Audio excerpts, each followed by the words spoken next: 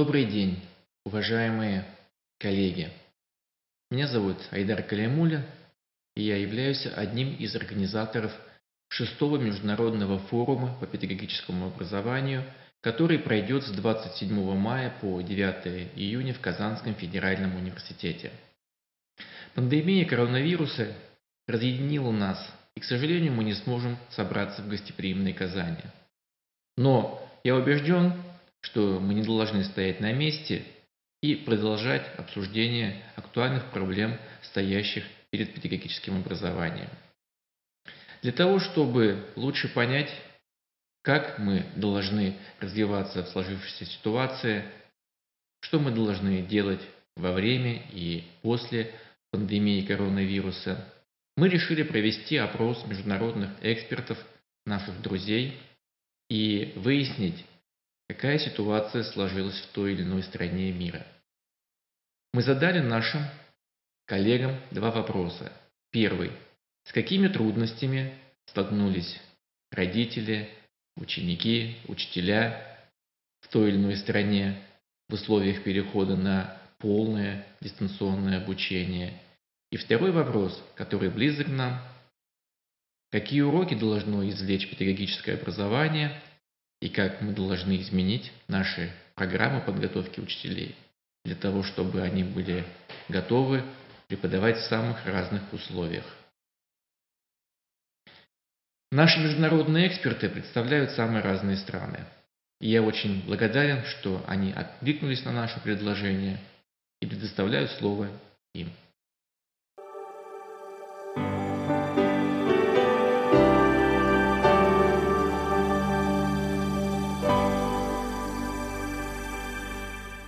Добрый день, дорогие друзья. Я прежде всего хотел бы сказать, что, конечно, очень непростой, но с другой стороны для нас, как исследователей, интересный э, период вошла э, мировая система образования.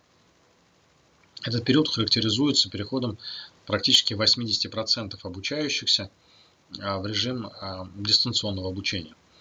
Мы наблюдаем за развитием событий уже в течение трех месяцев и видим, что действительно переход в онлайн – стал серьезным вызовом как для э, учителей, которые фактически э, вышли на передовой план э, и на фронтир развития цифровых технологий в настоящее время. Они осваивают все более и более современные подходы и методики обучения. С другой стороны, это стало вызовом для администраторов системы образования, задача которой стала обеспечение инфраструктуры, обеспечение правильной организации дистанционного образования.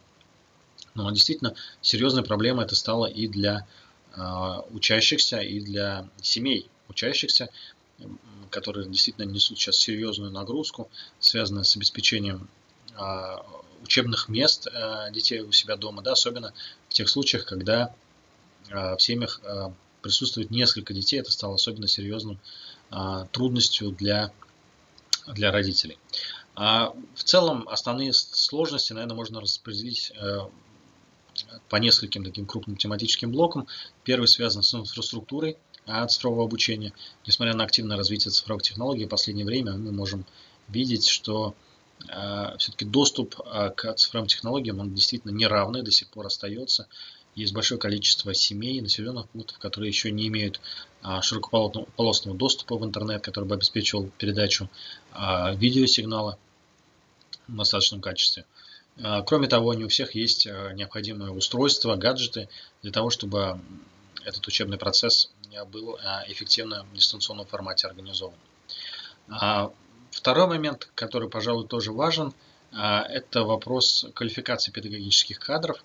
И мы действительно видим, что не все педагоги изначально были готовы к подобному формату обучения.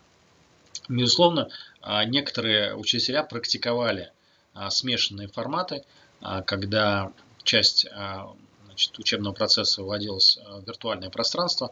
В то же время это не было массовым и, пожалуй, никогда не затрагивало столь многих. Сегодня учителя фактически в пожарном режиме с марта месяца должны были правильным образом выстроить учебный процесс, и мы видим, что они действительно сталкивались тоже с определенными трудностями. Они были и технического свойства, и мы видим а, в рамках тех социологических опросов, которые мы проводим, что, по крайней мере, в марте и первой половине апреля основные трудности, с которыми сталкивались педагоги, они прежде всего были технического свойства. Это э, недоступность ряда учеников а, из-за слабости каналов связи. Это вопросы использования того или иного программного обеспечения, обучения использованию этого программного обеспечения и так далее. Но мы видим, что уже с конца апреля, ближе к маю, э, сложности перестали быть э, технического свойства, а скорее больше уже методического. И, например, ученики все больше и больше стали жаловаться на большое количество домашней работы, на сложности организации э, оценки, их оценки в дистанционном формате. И э, мы видим, что на самом деле вот именно методические, такие педагогические, скорее даже, вопросы стали выходить на передний план. А это прежде всего связано с квалификацией и компетенциями педагога, который должен правильным образом организовывать учебный процесс в дистанционном формате. Это вопрос педагогического редизайна тех курсов, которые ранее читались а, в очном режиме. связано с новыми форматами оценивания, которые учителя должны применять. Это связано с новыми методическими приемами обеспечения вовлеченности учащихся в учебный процесс а, в режиме дистанта и организация правильной самостоятельной работы, без перегрузок учащихся а, домашней работы. А, эти сложности, которые, наверное, должны прежде всего сегодня повлиять и на программы содержания подготовки педагогических кадров. В последнее время часто говорят о цифровой дидактике, о новом типе дидактики, который в настоящее время должен быть разработан а, и, собственно, включен в программу подготовки учителей. Я уверен, что именно это должно стать а, тем а, новшеством, тем изменением, которое произойдет в связи а, с вот этим массовым переходом на дистант. Это дополнение и даже в некотором смысле трансформация образовательных программ и формирование учителей, скажем так, больше акцент на формирование учителей цифровых компетенций, но не просто использование программного обеспечения, а более глубокий подход к его использованию и интеграции в учебный процесс, методически обоснованной интеграции. То есть это не просто использование технологий ради технологий, а скорее а использование технологий для более эффективного обучения. И а, второй момент это, конечно, использование новых а, образовательных платформ. Мы видим, что, к сожалению, несмотря на бум развития цифровых стартапов, цифровых платформ последние годы, в марте месяце мы не увидели единого универсального решения для школ. А, и это тоже интересная, а, интересная тема, потому что несмотря на активное развитие а, форматов цифрового обучения, до сих пор нет хороших решений. Хороших решений для школ, для дополнительного образования, которые могли бы комплексно заменить а, контактные форматы а, обучения. И на самом деле в рамках тех социологических опросов, которые мы проводим, мы видим, что ученики в целом адаптировались к учебному процессу в дистанте, но им не хватает контактов, их не хватает общения а, между собой, им не хватает живого общения с педагогом и с учителем.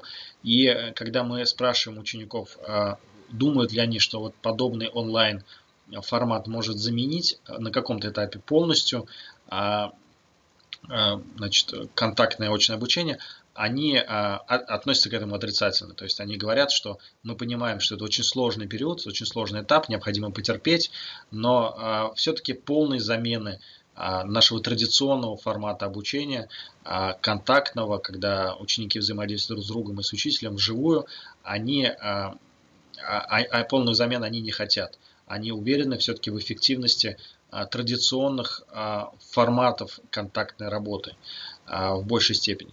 Хотя, конечно, мы понимаем, что ну, мир и школа уже не станут прежними. Раз открыв этот ящик Пандоры, то есть попробовав в таком широком формате формат, э, формате значит, режима смешанного обучения и режима полного онлайна, я не думаю, что школы полностью вернутся а, к традиционному формату. И это, конечно, а, еще раз а, повторюсь, вызывает необходимость трансформации программы подготовки учителей, которые должны быть готовы к подобному развитию событий, уметь самостоятельно создавать контент, обучающий контент, уметь планировать учебную деятельность в цифровом режиме и уметь вовлекать э, в этот процесс учащихся, удерживать их фокус внимания. А, я уверен, что в рамках конференции ИФТ текущего года эти вопросы тоже будут активно обсуждаться. Они очень актуальны, животрепещущие. И я уверен, что в рамках заседания рабочих групп будут выработаны некоторые подходы, которые помогут и педагогическим институтам, и органам управления в сфере образования, и простым учителям найти некоторые выходы интересные идеи для а, тех трансформаций, которые, видимо, ожидают нас в ближайшее будущее.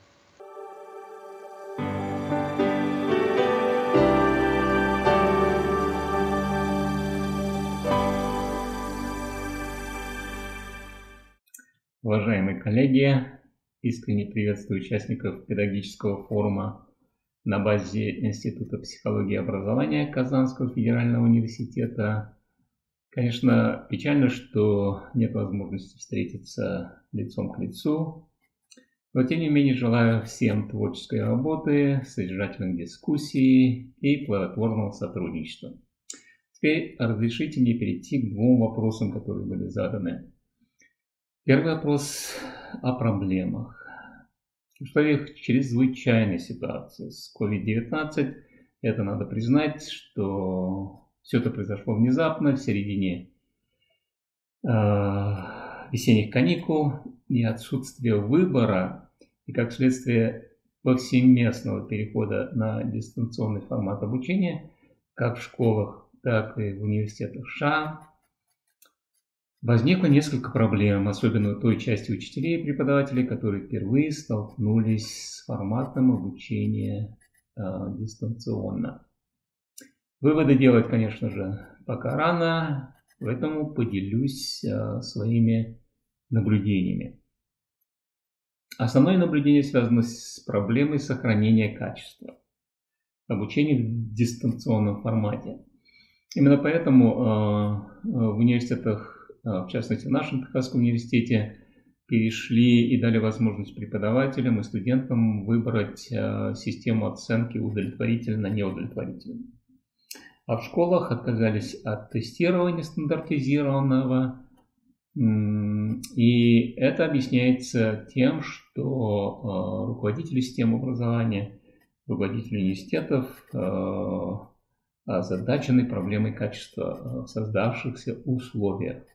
Далее, вторая проблема, как я ее вижу.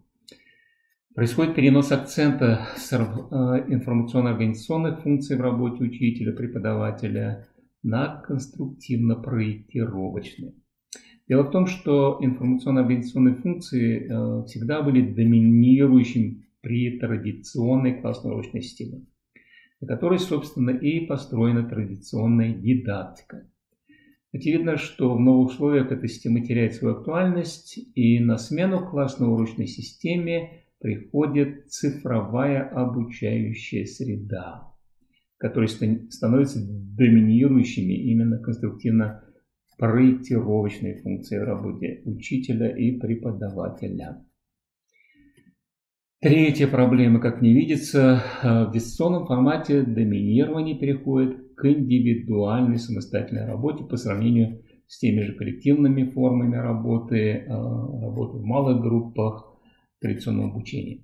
Учитывая, что в школах США при традиционном обучении достаточно скептически относились к домашним заданиям, то в новых условиях как учителя, так и школьники испытывают определенные трудности с переходом на более высокий уровень самостоятельности дистанционном формате.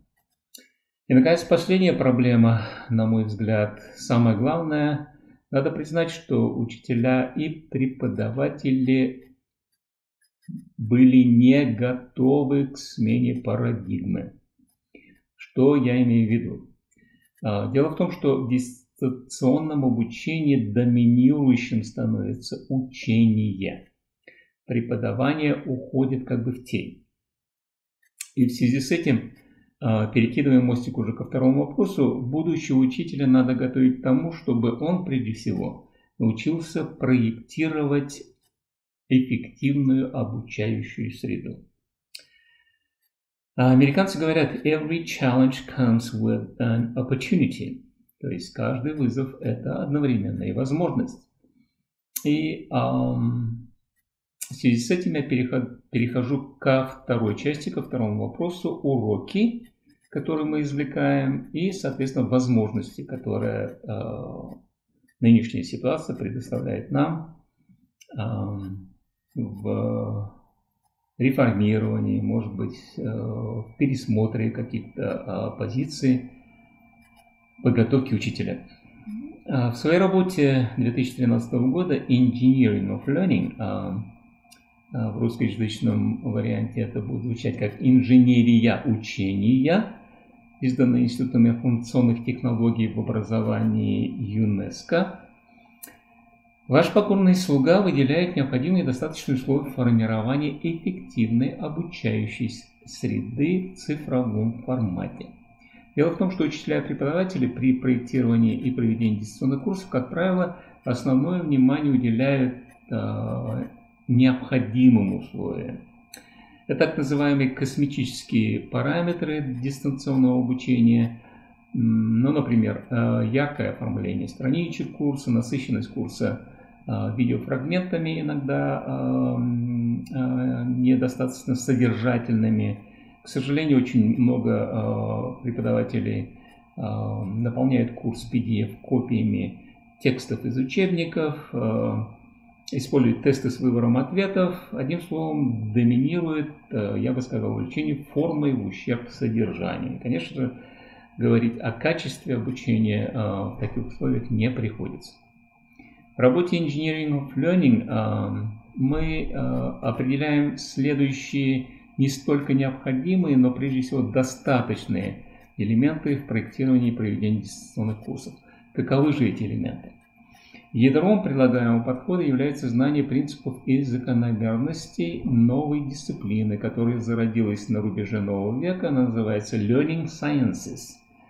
В русском переводе это науки об учении. А, не путать ни в коем случае с э, теорией учения или теорией обучения, в которой среди прочих важных тем представлены механизмы e-learning, learning analytics и так далее. Очень важно знания и компетенции в практическом применении моделей целеполагания и таксономии учебных целей. А, Следующий элемент очень важный. Знание и компетенции в проектировании содержания, content design, обеспечение интер, интерактивности содержания, content interactivity и создание условий для глубокой проработки содержания через различные формы коммуникации, обсуждения, диалога, content communication. Следующий важный элемент – знание и умение гибко конструировать интерактивные формы контроля оценки учащихся и студентов в цифровой среде. И последнее, но не менее важное условие – знание и умение практически осуществлять неразрывную связь между тремя ключевыми элементами дистанционного обучения – Learning Outcomes, Content Design, Engineering of Assessment – то есть вот эти три связка между тремя составляющими является э, необходимым и достаточным условием.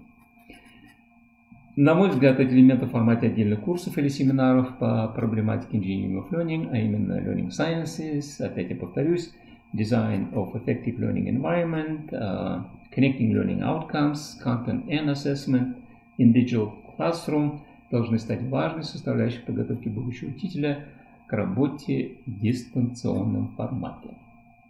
Еще раз всем удачи, э, содержательной дискуссии, плодотворного сотрудничества. И я уже надеюсь, что следующий э, форум мы будем встречать вместе, лицом к лицу, на площадке Казанского федерального университета. Спасибо за внимание.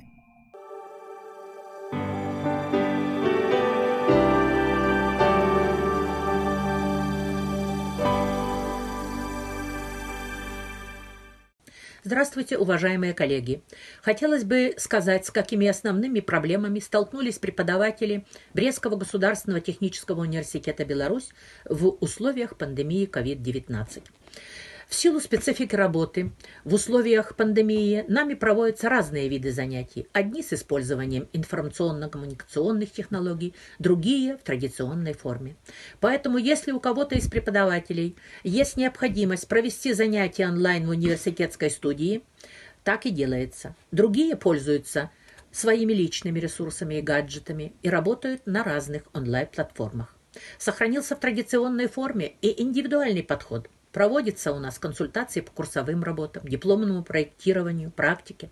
Но главное для нас здесь, чтобы не терялось качество обучения. Замечу, что в университете этот процесс работы в дистанционной форме мы начали еще год назад, когда о коронавирусе никто не слышал – еще тогда стали развивать мы некоторые дистанционные формы работы, поэтому в настоящее время преподаватели оказались готовы к тому, что можно более широко использовать современные технологии в ситуации, которая возникла последнее время. Да и для студентов это тоже не является проблемой, в том числе и для студентов-иностранцев.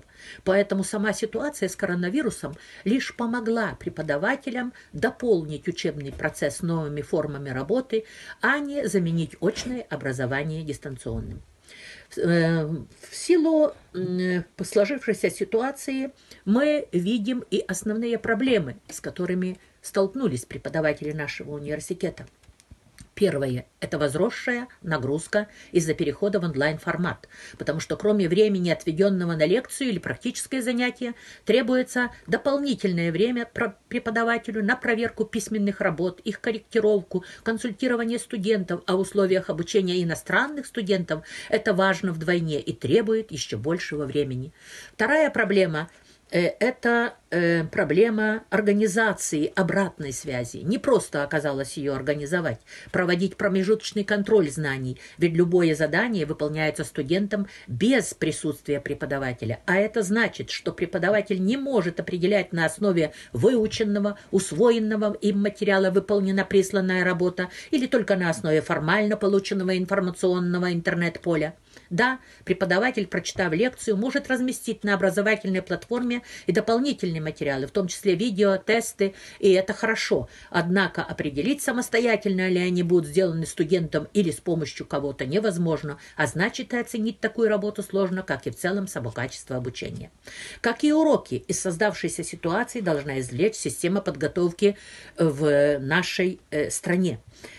Конечно, нами был сделан вывод, что дистанционная форма работы в университете может использоваться как одно из инновационных средств обучения, дополняющее традиционные формы, но ни в коем случае не основное, так как живое общение с преподавателем не только активно мотивирует к получению знаний, но и помогает усвоить материал, формирующий и развивающий компетенции студентов будущего профессионала. Хотелось бы поблагодарить участников и организаторов проекта за предложенную форму работы и думается, что она поможет выйти на новый уровень обучения как учеников, так и студентов в разных государствах мира, а значит повысить и качество образования. Спасибо.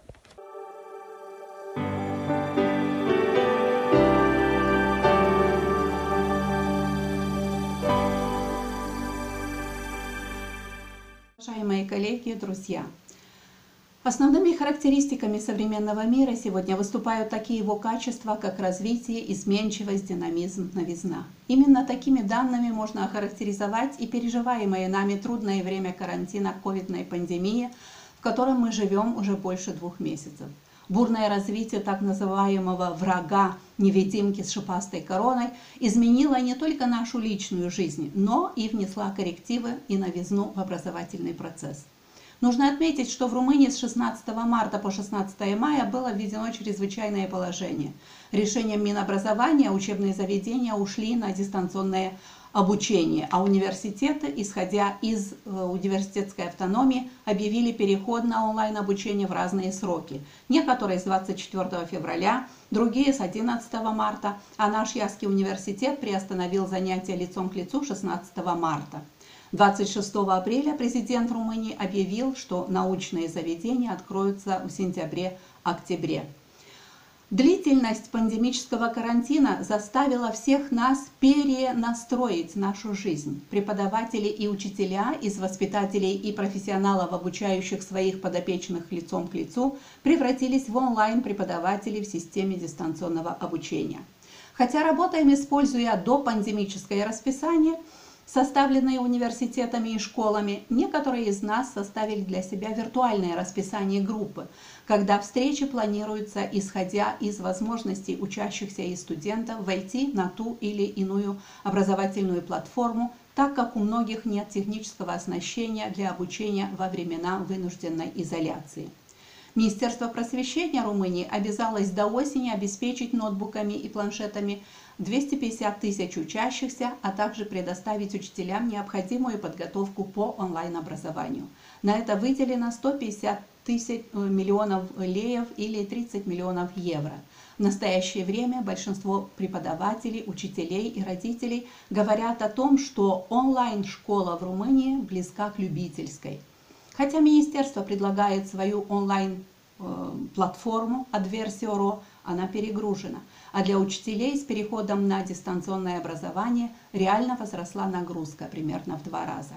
Хотя мы и наши студенты оперативно получили пошаговые инструкции и рекомендации, наладить удобную связь преподавателя со студентами на образовательных платформах удалось с трудом, потому что большинство из нас не владеют навыками и умениями дистанционного обучения, не прошли курсы повышения квалификации по использованию дистанционных технологий в образовании. Кроме того, у многих университетов, в том числе и у нашего, нет своей цифровой платформы – если даже видеотрансляции, вебинара, чата, форума стали новой реальностью э, учебы в ВУЗе в нынешней ситуации, нужно признать э, тот факт, что учиться и учить стало сложнее. По нашему мнению, государство должно в таких условиях обеспечить всех участников дистанционного образовательного процесса как минимум хорошими техническими средствами. Все будущие учителя должны освоить методику преподавания своего предмета дистанционно. Для сегодняшних учителей должны быть организованы курсы повышения квалификации – Конечно, сегодня так называемое дистанционное обучение при пандемии коронавируса непременно скажется на качестве румынского образования. Трехмесячное коронавирусное онлайн-обучение и перевод всего образования в дистанционный режим создало новую уникальную современную образовательную среду, в которой между учебными заведениями, семьями и обществом устанавливается новое сетевое взаимодействие в эту новую реальность с новыми нормами и возможностями образование в Румынии, как и во всем мире, вошло в период COVID Education. Под этим названием, по нашему мнению, останется этот период в истории и практике мирового образовательного процесса. В этот период международный сигнал бедствия СОС наполнился, по нашему мнению, новым значением – которое можно расшифровывать как солидарность, ответственность, сотрудничество. И эти идеи отражают как нельзя лучше взаимодействие школы, семьи и общества в эти трудные, но все-таки интересные времена, пусть даже в некачественном дистанционном формате. Спасибо.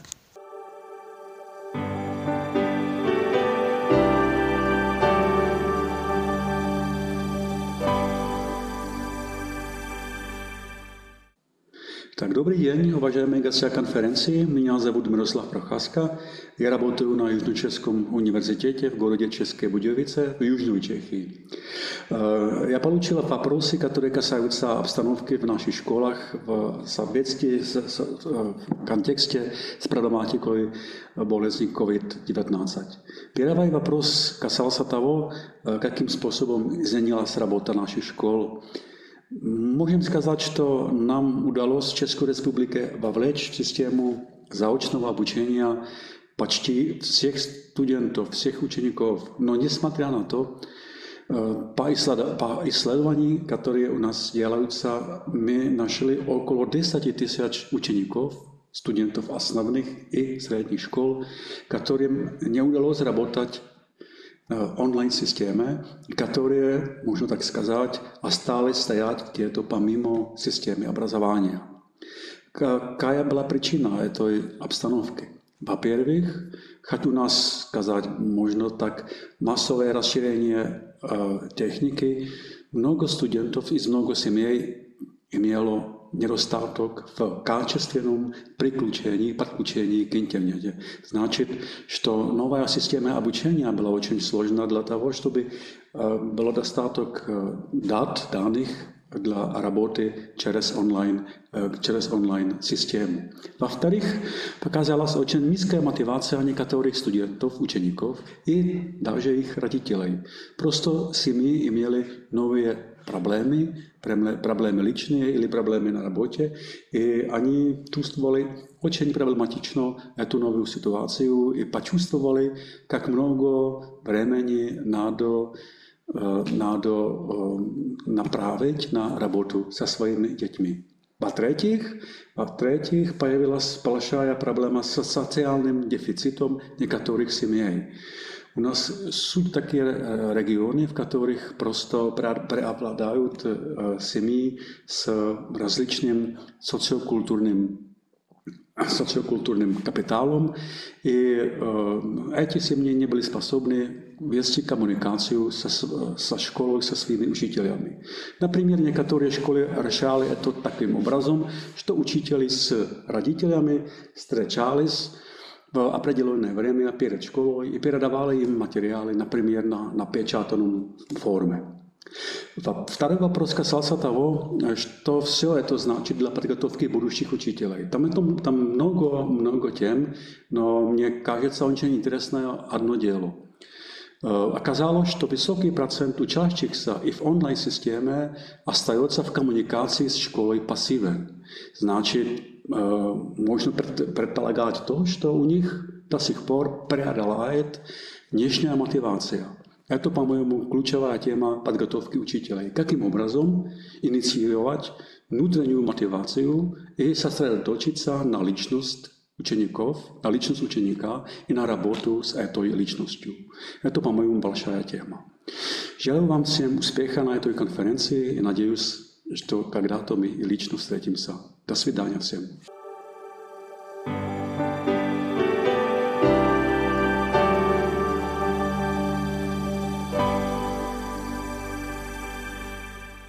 Здравствуйте, дорогие коллеги! Я приветствую вас из Германии, города Дрезден, Технического университета Дрезден, факультета педагогических наук. Как и во всем мире, наши школы и университет – перешли с апреля на занятия в онлайн-формате. С поэтапной нормализацией общественной жизни наступает время обсуждения результатов этого эпохального эксперимента всеобщего homeschooling. Опыт показывает, что технические средства помогают частично реализовать учебные задачи, если учителя оснащены цифровой техникой и обеспечены информационными программами и технологиями. Нельзя требовать от учителей индивидуально покупать высококачественную технику и программы. Но необходимо готовить будущих учителей и требовать от учителей квалификации в использовании цифровой техники, понимая, что цифровая техника не заменяет живое общение, но в условиях особого режима – позволяет избежать застоев и полной изоляции в сфере образования, а также обогащать процесс передачи предметных знаний. Неквалифицированное использование технических возможностей и программ как преподавателей, так и студентов сужает возможности диалога и обратной связи, как получилось с одной из моих учебных групп. Возвращаясь к школьному образованию, следует принять во внимание факт, что речь идет не об отдельном предмете, а о школьном образовании в целом. Следовательно, следует избегать смешения ролей родителей и профессионального учителя. Не следует придавать родителям роль эрзац учителя. Смешение ролей приводит к смешению авторитетов, смешению педагогических отношений – что может негативно повлиять на развитие личности ученика в целом. Профессиональный долг учителя при homeschooling – помочь прояснить роль родителей, что может перенять мать или отец, помочь в создании структуры дня, форм смены деятельности. Недопустимо взваливать ответственность за процесс обучения или только на родителей, или только на учителей. В данном случае ситуация вынужденного homeschooling помогает понять важность кооперативного сотрудничества учителей с родителями во имя блага общей цели. Кооперативное сотрудничество необходимо также и с коллегами, поскольку количество и объем заданий требуют согласованности учителей одной школы, а также единых требований к выполнению заданий. Опыт показал, что homeschooling не заменяет обучение в школе, так как учащимся важно общение и со сверстниками. А в целом нам всем важно понять, что презентации, ролики, фильмы, лекции – это, как у нас здесь принято называть, консервы. Консервы важны в походе, на войне, в полевых условиях, но консервы не заменят здоровую и свежую пищу. Здоровье было и остается важной ценностью. Поэтому обучение в условиях коронавируса заставляет нас задуматься о ценностях как всей жизни, так и ценностях всеобщего, школьного и высшего академического обучения. Спасибо за внимание.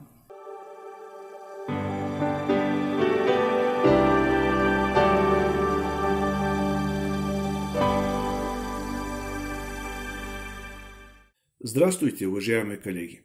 Я очень рад, что могу поделиться с вами своим мнением по задаваемым вопросам. По вопросу о проблемах, с которыми столкнулись по отношению образования в Болгарии в целом, я бы сказал, что немного. Но я остановлюсь на некоторых из них, которые, на мой взгляд, более важные. Прежде всего, я хотел бы начать с того, что были две общие проблемы в системе школьного образования в целом. Во-первых, не было никакой готовности, прежде всего психической, конечно, к дистанционному обучению, что, понятно, все произошло внезапно. И во-вторых, не хватало единой, синхронизованной и хорошо функционирующей системы дистанционного обучения, а также достаточной квалификации учителей для работы в такой среде. Многие школы имели опыт работы с разными платформами, но другим школам не хватало такого опыта. Просто не было никакой причины для его создания и накопления до сих пор. Помимо этих общих проблем, проблемы, с которыми столкнулись все основные участники системы школьного образования в Болгарии, учителя, ученики, родители, разные для, для каждой из этих групп. Но несмотря на различия, есть и сходство. Основная проблема для учителей в целом заключается в том, что более 65% из них старше 45 лет. И у них не было достаточно опыта дистанционного обучения, а также работы с информационными и коммуникационными технологиями в целом. Конечно, есть исключения, но, как говорят математики, исключения подтверждают правила.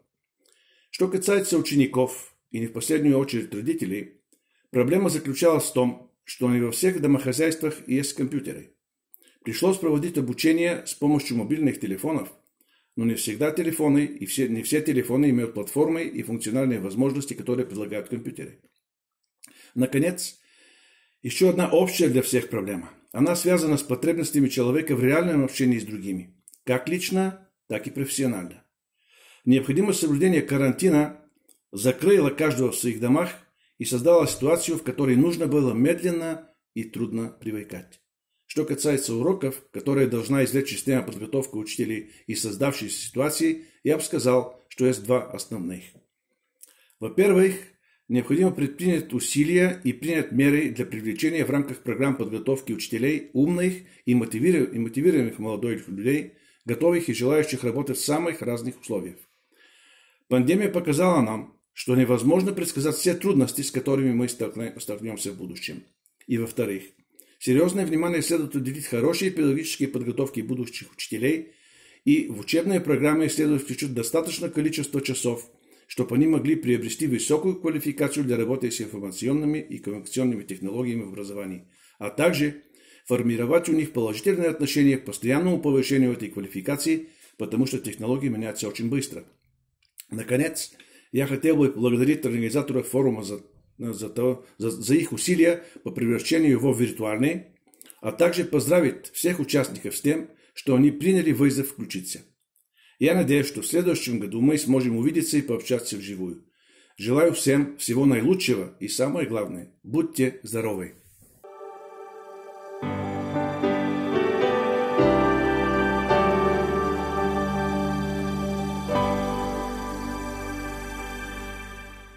Говоря о ситуации в Финляндии, скажу, что э, сейчас школьники вернулись обратно в школы на этой неделе, в середине мая. Несмотря на то, что до конца учебного года остается менее двух недель и пандемия все еще не закончилась, данное решение удивило многих, в том числе и учителей, потому что им сообщили за две недели о том, что они возвращаются обратно.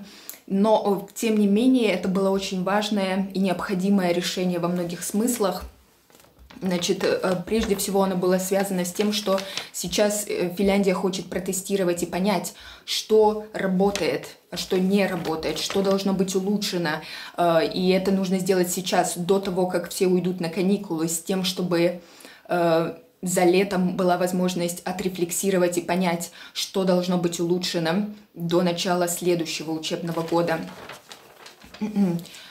То есть э, на данный момент у системы образования есть теоретическая стратегия того, как нужно работать в условиях пандемии.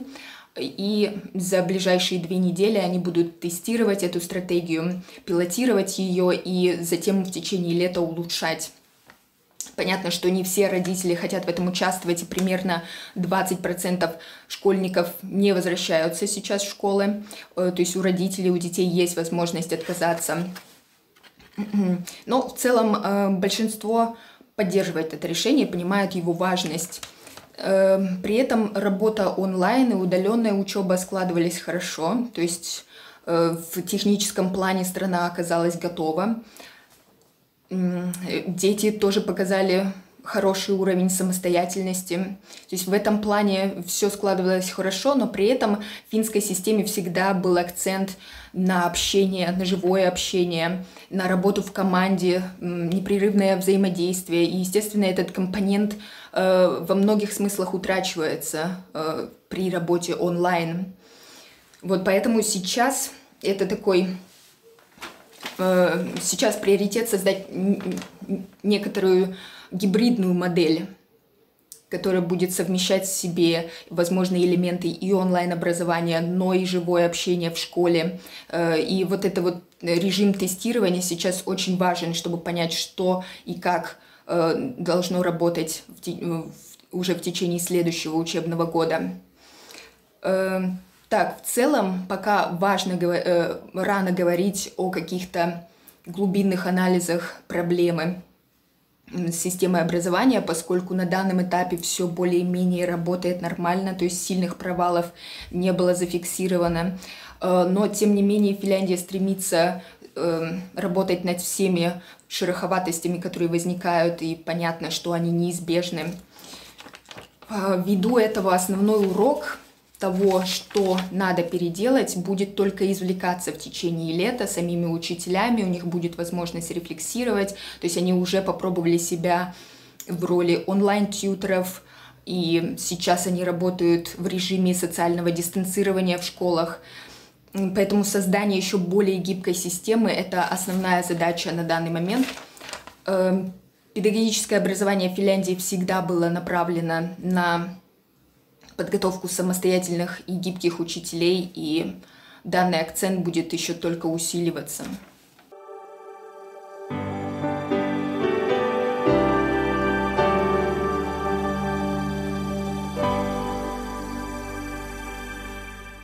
Уважаемые коллеги, доброе время суток. Хотелось бы выразить большую благодарность Казанскому федеральному университету за организацию виртуального международного педагогического форума, несмотря на всю вот эту сложившуюся ситуацию с коронавирусом, и пожелать всем нам творческих успехов. Сегодня, в трудное время, когда весь мир охвачен проблемой, система образования Кыргызстана старается внедрять обучение с использованием дистанционных технологий. Конечно же, об обучении с использованием дистанционных технологий мы говорим уже давно, и вузы нашей страны активно внедряют – но для системы школьного образования это можно сказать в новинку. Хотелось бы отметить, что вот уже активно страна взяла курс на цифровизацию, И на это указывает тот факт, что указом президента Кыргызской республики уже два года подряд объявлены годом цифровизации. Сегодня практика показывает, что учителя наши быстро сориентировались, и за такой короткий срок в сети интернет появляются различные видеоролики на русском языке, на кыргызском языке, э, на узбекском, на таджикском языке, потому что у нас есть школы с обучением на этих четырех языках. Также появляются онлайн-тестовые задания, создаются презентации и многое другое, что, конечно же, является хорошим подспорьем для проведения уроков через интернет. Но, конечно же, как и везде, есть проблемы. Но проблемы эти, эти в основном технического характера. Например, э, слабая скорость интернет. Э, в некоторых районах, ну их очень мало, Э, отсутствие постоянного подключения к сети интернет. Также в связи с погодными условиями э, у нас временами отключается электричество в сельских районах. Это тоже доставляет неудобства в обеспечении дистанционных технологий. Ну и есть э, ряд семей, которые используют один девайс на всех учеников. Э, во всей этой деятельности хотелось бы отметить э, усилия нашего Министерства образования, усилия учителей, Кыргызской академии образования, э, телерадиокомпаний, которые активно налаживают систему дистанционного образования. И также хотелось бы отметить, что какие основные уроки мы должны извлечь из всей вот этой вот сложившейся ситуации. Э, на мой взгляд, больший акцент мы теперь будем делать на формирование ИКТ-компетентности учителей. То есть э, учить их полноценному освоению компьютерных программ и активному и грамотному использованию. Спасибо большое за внимание. До новых встреч.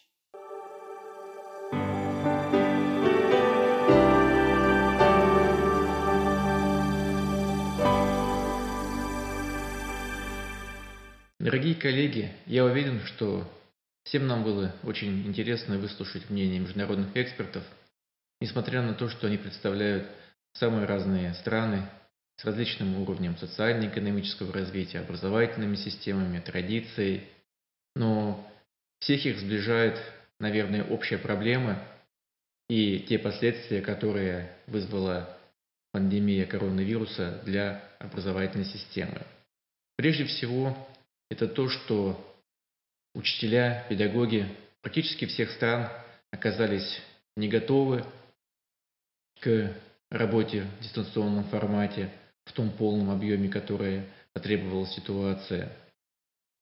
Но при этом все сходятся в единой точке зрения, что дистанционное образование – это вынужденная мера в условиях пандемии, это своеобразный выход из сложившейся ситуации.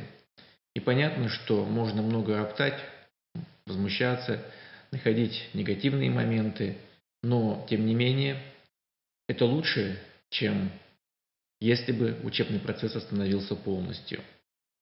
Но при этом становится очевидным, что и в нормальной жизни дистанционное обучение необходимо, и я думаю, мы должны извлечь уроки из того, как мы тот опыт, который мы накапливаем в эти месяцы, мы сможем имплементировать уже в нормальный образовательный процесс и построить действительно эффективное смешанное обучение, так как отрицать дистанционное образование мы уже не можем. В этой связи встают проблемы, и эти проблемы, которые выявились сейчас, мы также должны своевременно решать. В частности, Практически все эксперты отмечали проблемы технического характера, связанные с нестабильностью связи, особенно в отдаленных районах. Отмечается проблема социального неравенства в образовании.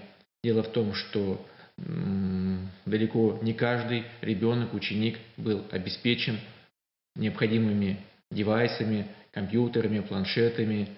В некоторых семьях их не было вообще. И в некоторых странах э, создавались специальные фонды для поддержки таких детей. Еще одна проблема, которую необходимо решать, это необходимость комплексной взаимосвязанной деятельности не только учителей, но и родителей, администрации и, конечно же, самих учеников в создании эффективной системы обучения. Речь идет и о единых подходах, системах оценки, источников информации и даже учебной нагрузки, которая очень часто э, ложилась на плечи детей ввиду отсутствия э, комплексного э, контроля и подхода со стороны администрации школ. В любом случае, мы должны признать, что современные учителя всех стран, которые в этих непростых условиях пандемии коронавируса осваивали для себя новые дистанционные технологии обучения в широком формате. Это современные герои, так же как и врачи, борющиеся с ковидом в больничных палатах. И эти месяцы потребовали для учителей большой внутренней трансформации. Понятно, что учителя старшего поколения, наверное, оказались в очень непростой ситуации, и поэтому учет возрастных особенностей работы в цифровой среде – это также одна из актуальных задач для современной образовательной практики. Отрадно, что понимание необходимости модернизации всей образовательной сферы, как на школьном, так и на вузовском уровне, есть уже во всех э, странах. И я уверен, в ближайшем будущем мы станем свидетелями и участниками серьезной трансформации школьного и вузовского образования. Говоря о втором вопросе, который был задан международным экспертам, какие уроки должны извлечь наши национальные системы педагогического образования, то не вызывает сомнений тот факт, что мы должны менять наши программы подготовки учителей в университетах, в том числе более активно вводить новые модули и курсы, связанные с цифровой трансформацией образования. Должны трансформироваться и психологическая подготовка, включая методы работы учителей по профилактике и предотвращению негативных следствий работы детей в цифровой среде, которые нам всем известны. Я благодарю наших международных экспертов за очень открытый и правдивый рассказ о тех проблемах, которые есть в их странах. Я думаю, что это очень важно, потому что только понимая эти проблемы, не скрывая их, мы действительно сможем найти пути выхода. И самое главное, мы сможем обмениваться тем опытом, который накоплен на уровне различных стран, и использовать его в своих э, образовательных системах. Огромное вам спасибо. Я надеюсь, что очень скоро пандемия коронавируса завершится мы вернемся к нормальной жизни. Здоровья всем, вам, вашим близким, коллегам. Берегите себя и до встречи в 2021 году в Казани на очередном международном форуме по педагогическому образованию, проводимом в Казанском федеральном университете.